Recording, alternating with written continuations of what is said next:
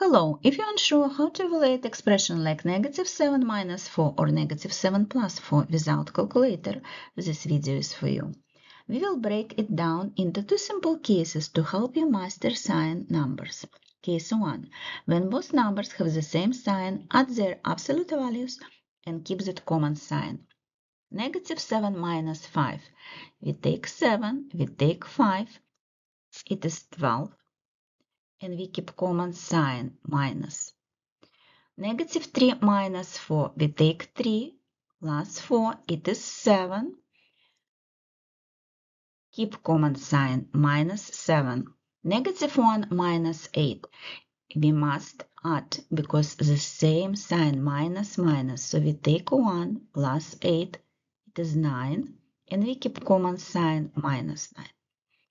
Negative 6 minus 3, 6 plus 3, it is 9, and we keep common sign minus. Negative 9 minus 7. 9 plus 7 give us 16, and we keep minus negative 16. Negative 11 minus 4. 11 plus 4. 15, and we keep common sign minus. 9 plus 7, just 16 both positive numbers, so answer must be positive. 6 plus 3, it is 9. The second case, when the numbers have different sign, subtract the smaller absolute value from the large one and take the sign of the number with the greater absolute value. So we have negative 2 plus 5. We take 5, subtract 2, it would be 3. Positive 3. Why? Because 5 has plus. Positive 5.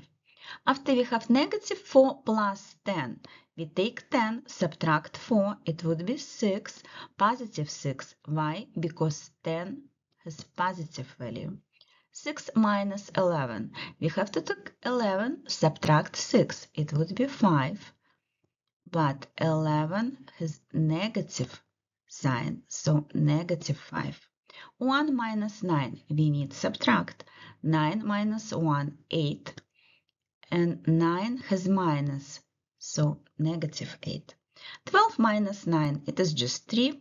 Negative 12 plus 9, it is negative 3. Negative 10 plus 5, we take 10 minus 5, give us 5. And then negative sign, so you have to take sign a larger absolute value, minus 5. We have interesting situation with negative 10 minus negative 5.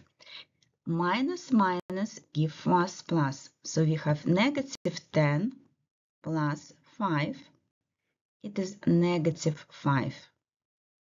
Thank you for watching and see you soon.